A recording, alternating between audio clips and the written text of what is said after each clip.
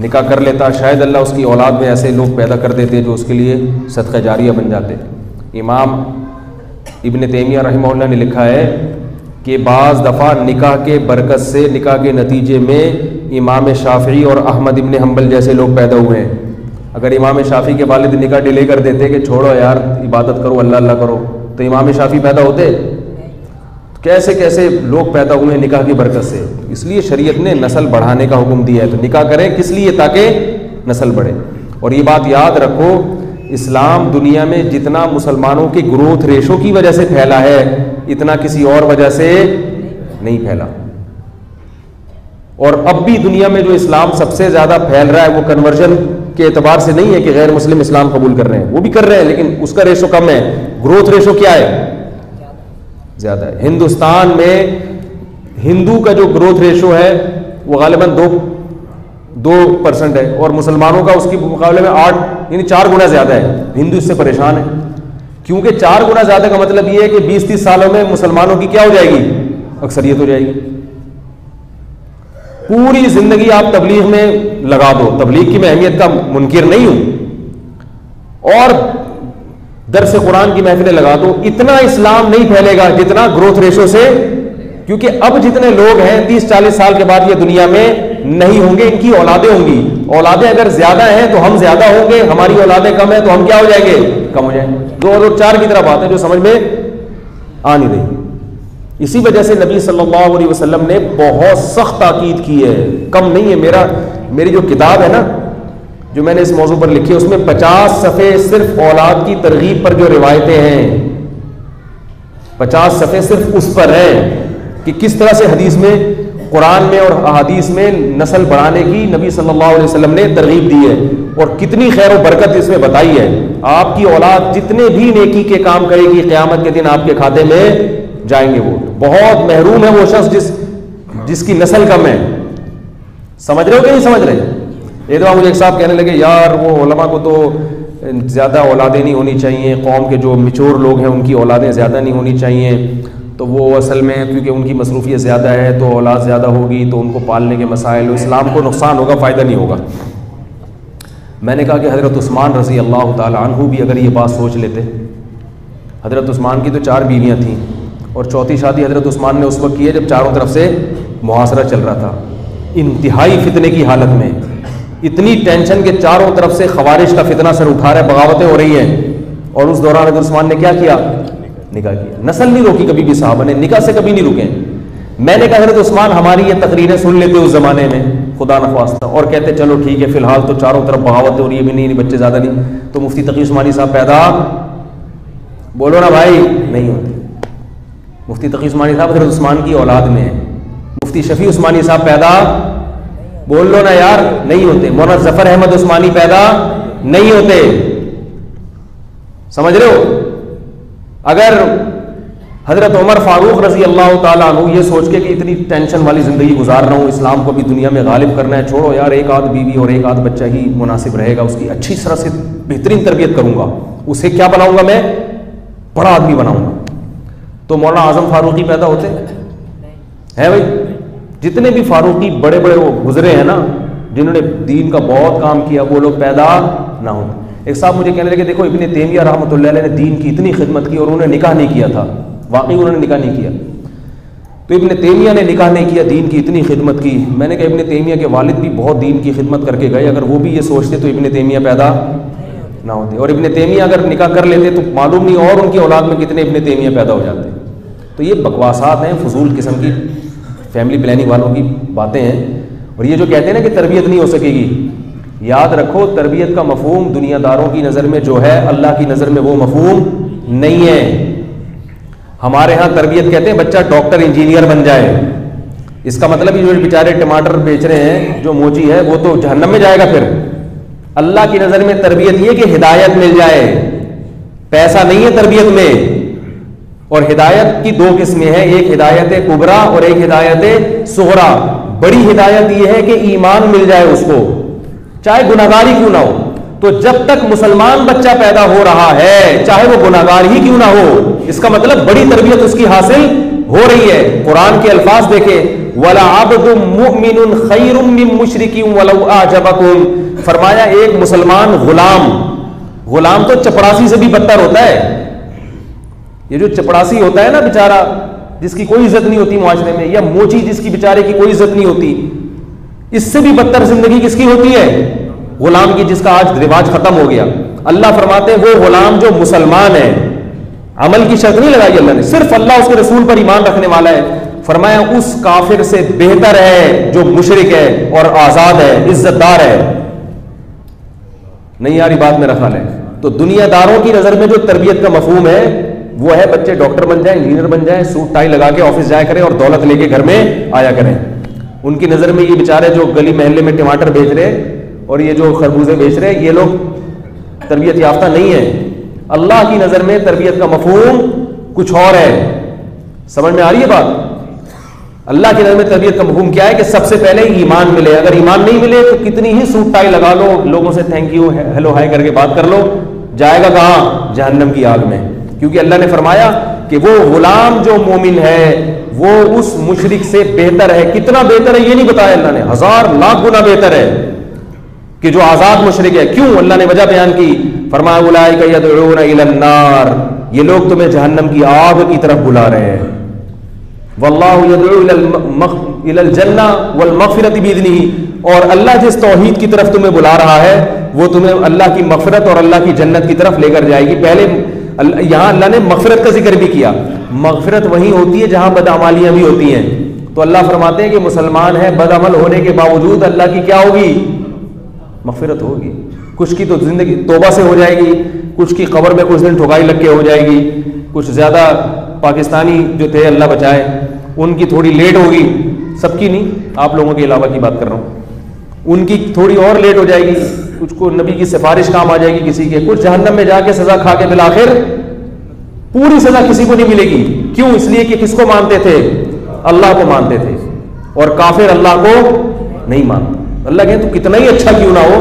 तो मखलूक के लिए अच्छा होगा, मेरे लिए अच्छा नहीं है। तो जब तक हमारी औलाद में मुसलमान बच्चे पैदा हो रहे हैं, हमें यह डर नहीं है कि खुदा नखास्ता मुर्दा हो जाएँगे।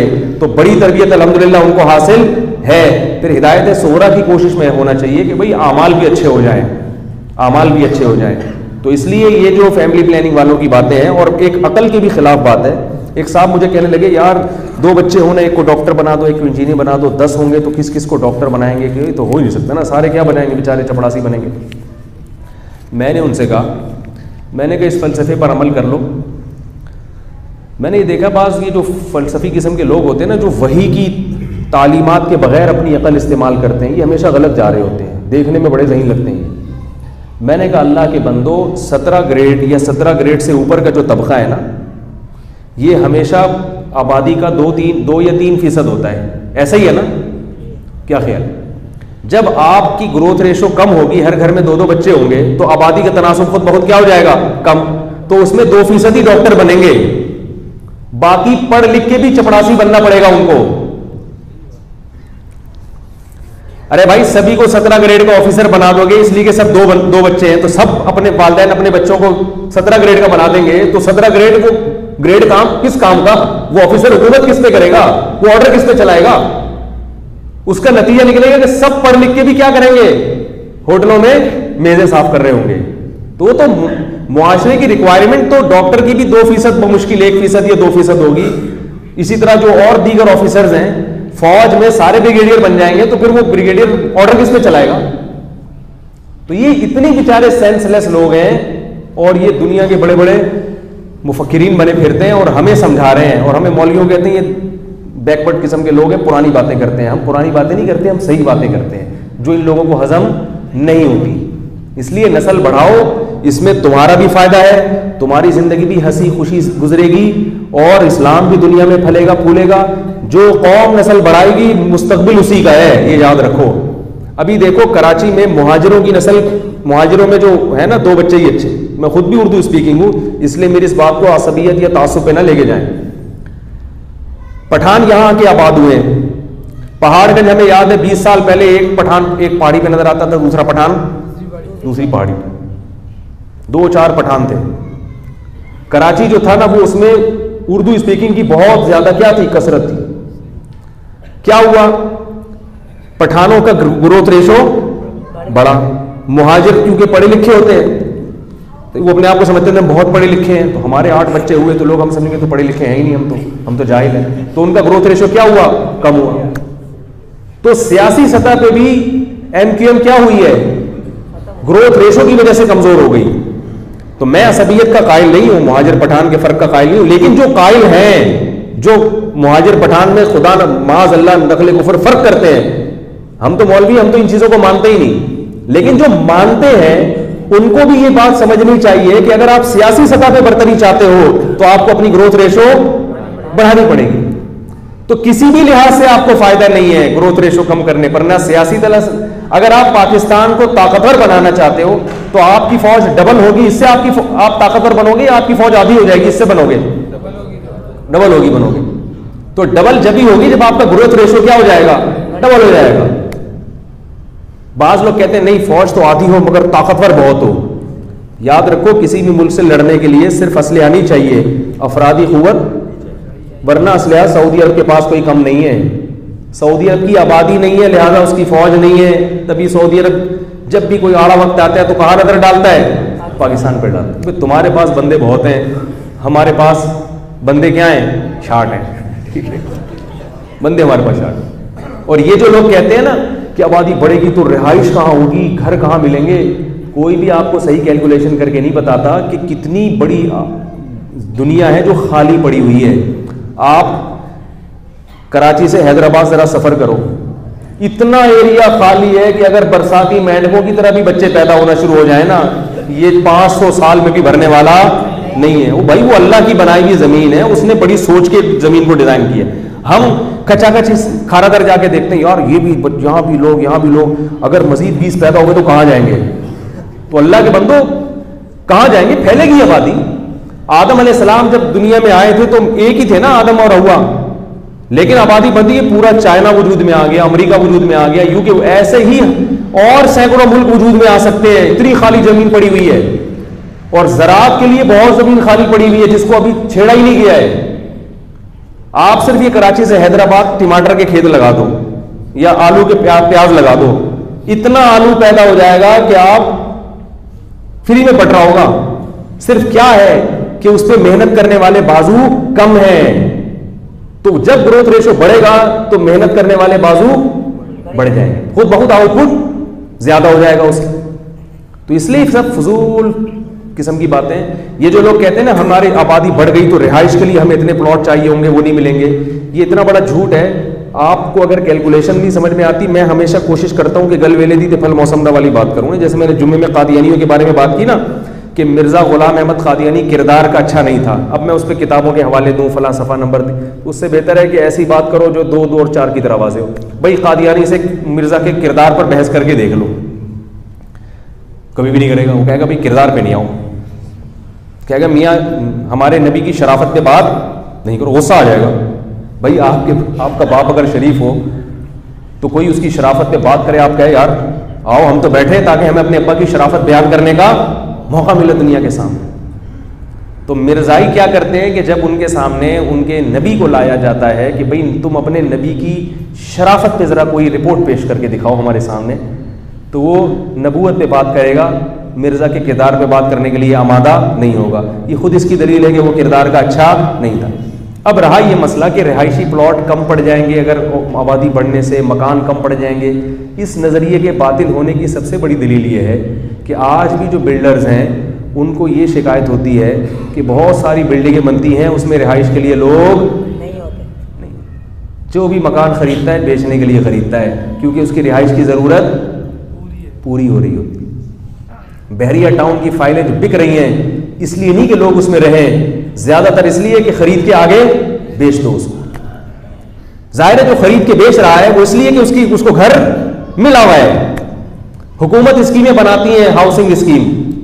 बहुत अरसे के बाद जा जाके वो आबाद होती हैं। लोग ही नहीं, लोग कहते हैं, नहीं भाई, हमने आबादी में रहना है। हम नहीं जा रहे वहाँ पे। इसलिए कि लोगों की ज़रूरत पूरी हो रही है। ज़रूरत पूरी हो रही है लोगों की। तो अगर ज़रूरत पूरी ना हो रही होती तो जैसे ही कोई बहरिया टाउन कोई वजूद में आता, फ़ौरन आबाद हो जाता। लोग कहते हार हमें तो हम तो फुटपाथ पे सो रहे थे भाई। हमें तो जगह नहीं मिल रही थी। और बाकी राय ये कि बेचारे गरीब जो फुटपाथों पे सोते हैं, इसकी वजह ये नहीं है कि आबादी ज़्यादा है। वो तो गुर्बत है। तो गुर्बत तो किसी भी वजह से किसी, वो तो सूदी निज़ाम है और बहुत सारी चीज़ें हैं। तो गरीब तो हर दौर में रहे हैं, पहले भी रहे। अब आबादी के बढ़ने से गुर्बत भी कम हो जाती है आहिस्ता आहिस्ता क्योंकि जब आबादी ज़्यादा होगी तो गरीब आदमी के पास कमाने का मौका ज़्यादा होगा। तो अगर ये आबादी कम होती तो फुटपाथों पे सोने वाले और भी ज़्यादा होते। समझ रहे हो कि नहीं समझ रहे? रोज़ बेरोज़गारी और ज़्यादा बढ़ जाती। तो इसलिए ये सब फजूल किस्म की बातें तो हमारे सामने ये तकरीरें न किया करें। अपने आप पर रहम करें, अपनी नस्ल बढ़ाएँ, अपना ख़ानदान बढ़ाएँ, बुढ़ापे में काम आएगा। आखिरत में तो बहुत ही काम आएगा।